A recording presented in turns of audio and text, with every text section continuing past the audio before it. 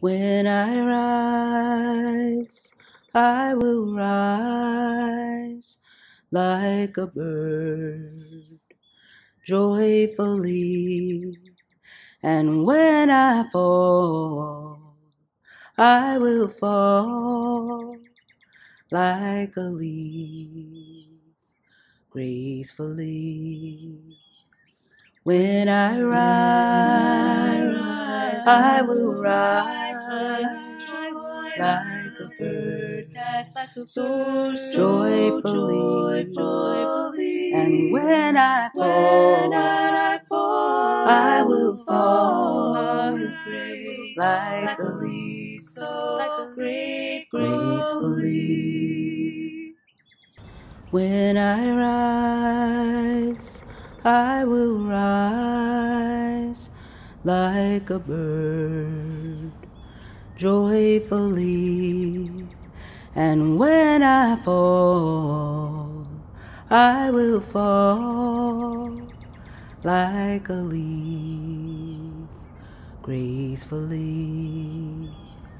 When I rise, I will rise like a bird so joyfully. And when I fall, I will fall like a leaf so gracefully. When I rise, I will rise like a bird joyfully. And when I fall, I will fall like a leaf gracefully. When I rise, I will rise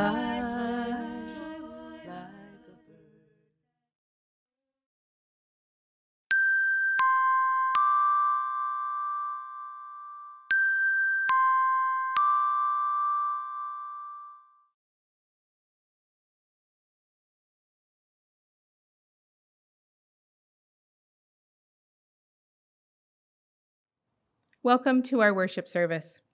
Let us settle into our spaces. Take a deep breath in and out. As Unitarian Universalists, we believe we are all connected in this world, and we value the worth and dignity of each and every person. We pull on the wisdom of many sources to teach us, guide us, and help us understand this world. As we prepare our hearts for worship, let us remember our connections through our collective chalice lighting words. Please join me. In the light of truth and the warmth of love, we gather to seek and seek to share. Our opening words are from Sobonfu Some. Community is the spirit, the guiding light of the tribe whereby people come together in order to fulfill a specific purpose, to help others fulfill their purpose, and to take care of one another. Come, let us worship together. Please rise in spirit and voice for opening hymn, We Shall Be Known.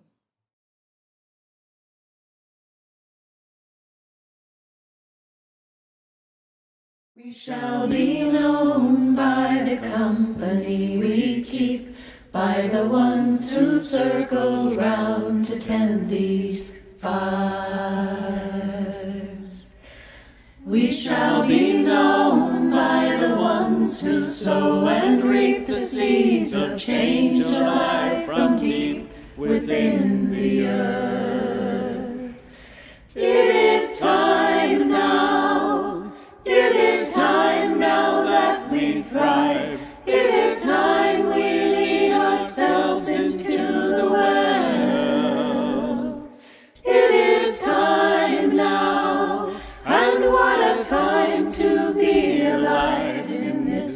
Turning, we shall learn to lead in love. In this great turning, we shall learn to lead in love. We shall be known by the company we keep, by the ones who circle round to tend these fires. We shall be known ones who sow and reap the seeds of change alive from deep within the earth.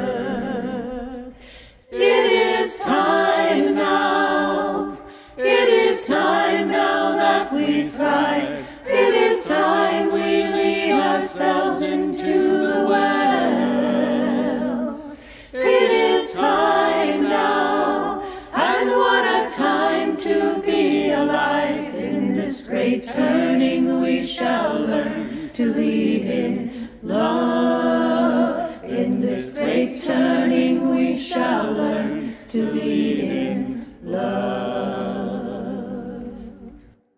We shall be known by the company we keep, by the ones who circle round to tend these fires. We shall be known sow and reap the seeds of change alive from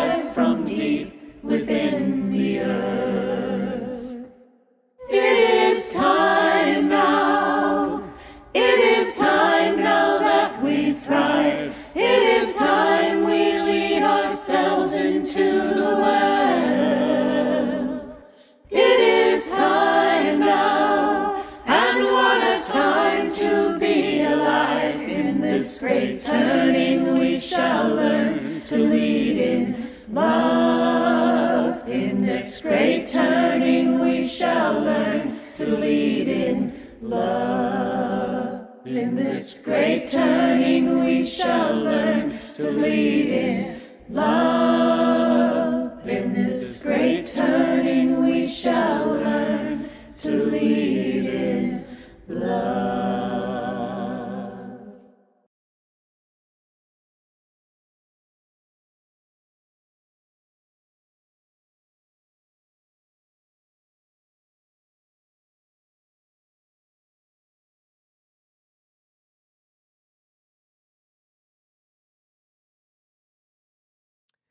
Our first reading is by Christine Slocum.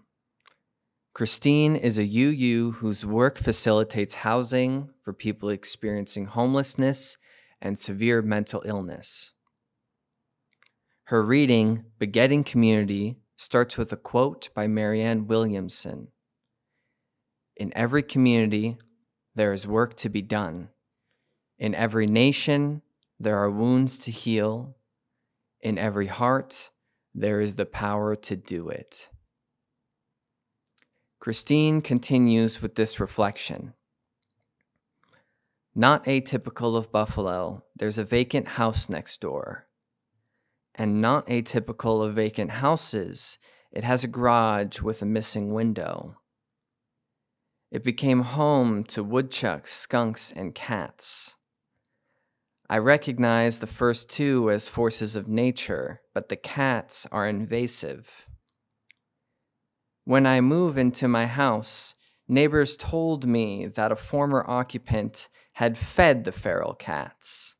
Yeah, not me, I said. I'm a bird lover. Feral cats disseminate song. We were not pleased, but we were patient. This is the text of an urban environment. I felt more inclined to live with it than change it. Peering out the kitchen window one morning, we saw kittens bouncing through the yard. A tabby watched them. Oh, I thought, the tabby cat begets more cats. A colleague referred me to a local nonprofit which advises the community on humane ways to deal with these feral cats. They call it trap, neuter, vaccinate, release. You trap the cats, bring them for spaying and neutering. The vets vaccinate them, and you bring them back. Okay, I thought. If it needs to be done, Let's do it. So I began to trap the feral cats. This is not something I saw myself doing. I borrowed the traps, used time off from work to get them to their appointments, cared for them in my garage, and released them when it was time. It was a process that took three weeks. Training them to go into the traps meant that we've started feeding them and giving them water. The kittens went through growth spurts.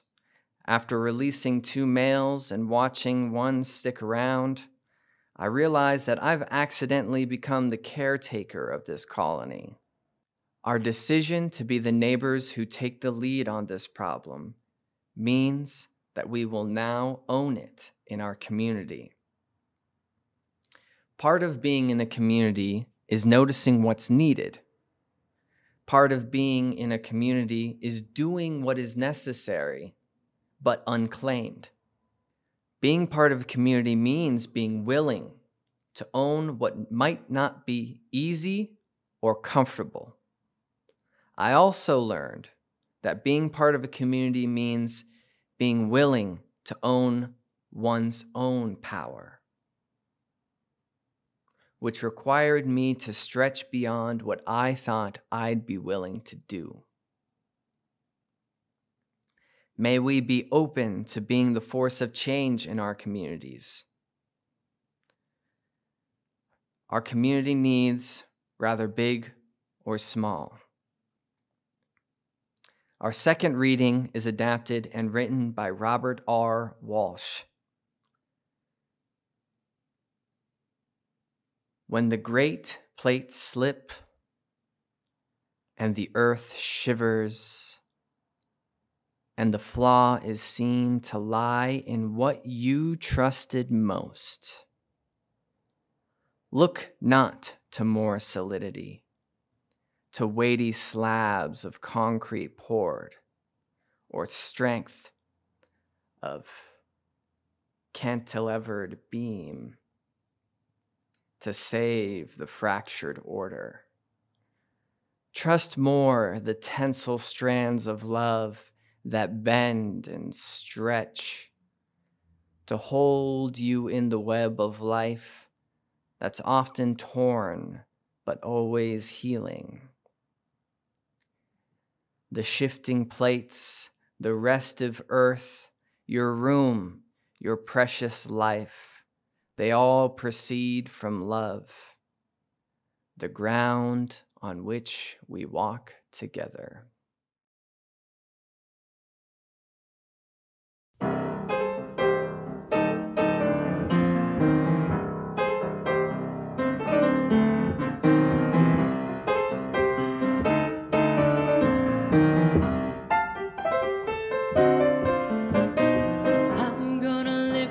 Sister up, she is not heavy. I'm gonna lift my sister up, she is not heavy. I'm gonna lift my sister up, she is not heavy. If I don't lift her up, I will fall down.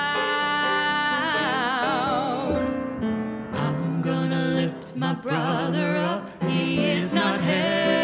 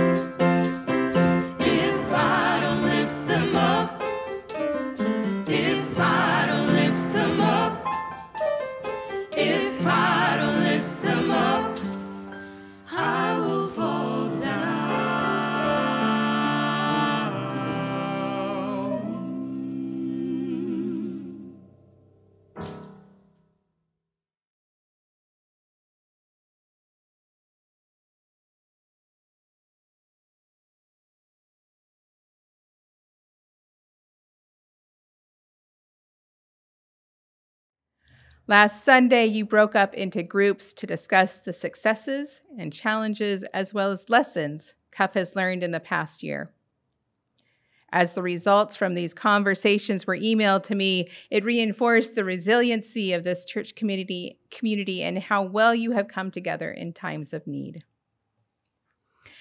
As many of you who are members and friends know, communication went out this week to announce my choice to enter into chaplain residency program in the San Francisco Bay Area, which means my last day is July 31st. This is a result of several factors. First, we have done so much work together in the past nine years. It is truly amazing to reflect on where we started in ministry in 2012 together and where we are now. In 2012, you were trying to determine how to pay for ministry and struggling to create stable finances. Leadership development was just at the beginning of stages. A new building was only a dream. Now, Cuff has a solid financial foundation, strong leaders, and you are on the cusp of realizing the dream of a new building. I feel I have done the ministry that I was called to do here, and it is time for a new ministry to enter into your journey. I feel new skills and new insights are needed to carry you into the future. The second factor is parish ministry requires so many hats and so many ways of being. My soul and spirit soar when I'm preaching, meeting with you on your journeys, and teaching. However, a majority of the work is truly administrative, and I realize that work does not feed my soul. In addition, I feel a strong need to step into a place where many of my colleagues have held so beautifully this past year during the, the, during the pandemic. And I know their souls and spirits are breaking, which means they need to step back. We know from our work together there's a constant stepping back and stepping forward in the work we do to create love, beauty, and justice in our world. The third factor is my family. Connor will be going to college this year, either in California or the East Coast. If in California, then this help establishes residency. If on the East Coast, then it is easier to reach him from a major metropolitan area. In addition, Bree wants to go to college into a California college, and again, residency helps with those tuition costs. Don and I went to college and we're married in the Bay Area, and is where our hearts feel most at home. I want to reassure you that I am not leaving due to any conflict, frustration, or anger. I truly love you all and am honored to have been your minister. Reverend Jack Mendelsohn once said something along the lines of how great ministers and great congregations create each other. You have truly nurtured me and helped me grow. You have grown me into a great minister. I am grateful for the lessons you have taught me, the ways you have brought me into your lives, and how we have cared for each other. In this ministry together, you, you as a congregation have lived into your mission and covenant. You have supported each other. You have grown so much. And like unlike many of our other UU congregations, you are thriving and healthy. I'm excited for you and the possibilities you have in front of you. And I know you love me, even if you might be angry or disappointed right now. And so, in our saying goodbye, in our honoring of the changing of the seasons, we will honor the love that we have shared. This means allowing ourselves to experience the full spectrum of grief. Be angry with me if you need to. Be sad. Be excited. You can feel betrayed, abandoned, hopeful, confused. Feel whatever it is you need to feel. We can work through it. Call me and yell at me on the phone. I won't hang up because I know it is a natural part of the grieving process. We have to feel all the feels, and that is okay. That is normal. And indeed, it is healthy because we will get through it. Meanwhile, you'll be starting a new adventure. Your board is already connected with the UUA team that works with these transitions. I have recommended the congregation enter an interim ministry, which is a minister that works with the congregation to integrate their knowledge from this ministry and prepare for the next ministry. They have special skills trained for this transition, and many have skills that help with building projects. The congregation is well loved and thought of in the UUA, and I have been talking you up to all my colleagues. So I trust you will find a good match. If you have questions about that process, then please contact your board members. It is very clear I am not able to be part of that process. I understand there might be feelings of fear and trepidation for this change, which is to be expected. And this congregation has gone through ministerial transitions before. There are people in the congregation that have been through the process either with this congregation or in another congregation they attended. The board will need to identify a team to lead the congregation through this process.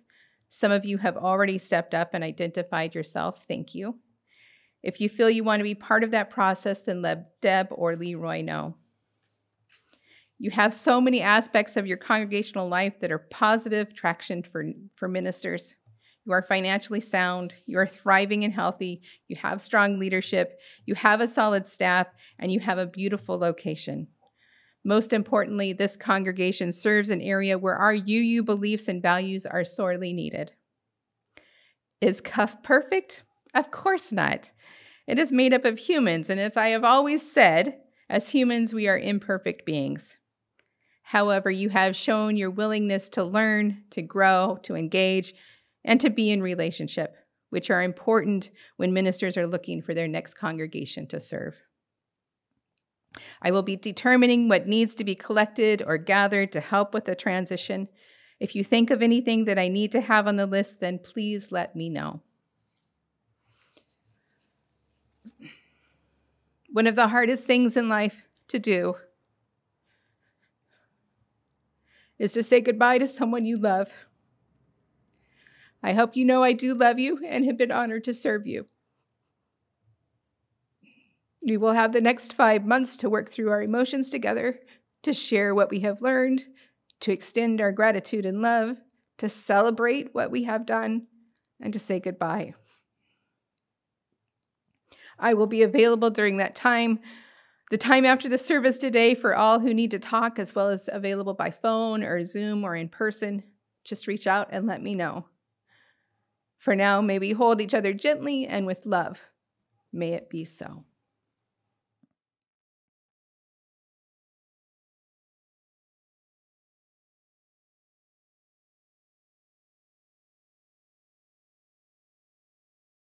Our prayer today is a body prayer from Reverend Lisa Friedman. You may choose to sit or stand. We touch the floor to remember wherever we bring our best self is holy ground. We reach for the sky to remember we are a part of mystery much bigger than ourselves. We reach our hands out to remember that we need one another and are part of one human family. We join our hearts to remember that we each have a gift to offer the world and to use in making the world a better place. Amen. Please raise your spirit and voice for our closing hymn, Life Calls Us On.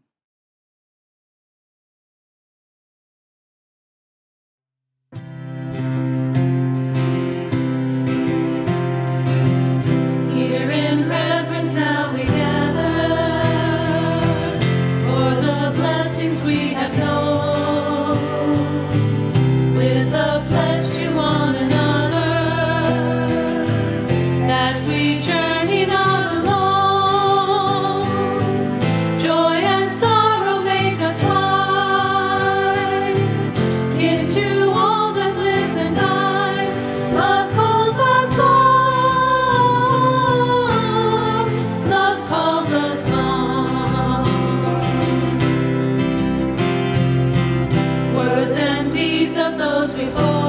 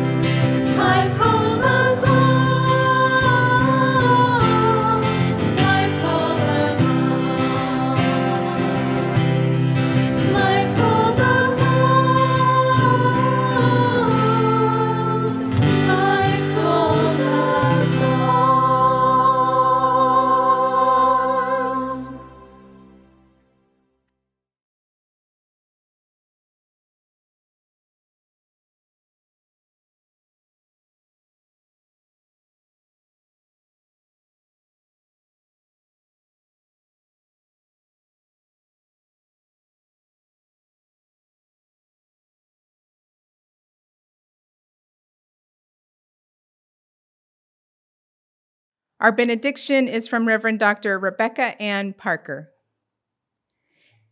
Even when our hearts are broken by our own failure or the failure of others, cutting into our lives, even when we have done all we can and life is still broken, there is a universal love that has never broken faith with us and never will. Love be with you. Please join in our collective chalice extinguishing words. We extinguish this flame, but not the light of truth, the warmth of community, or the fire of commitment. These we carry in our hearts until we are together again. Please raise your hands in the spirit of connection for our closing song. Carry the flame of peace and love until we meet again. Carry the flame of peace and love until we meet again.